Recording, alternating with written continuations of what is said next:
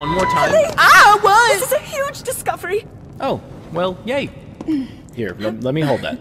I don't want you setting yourself ablaze again. All right then. Now to use this invention of Purah's. I'm glad I didn't leave it behind. Hey, you got games on there?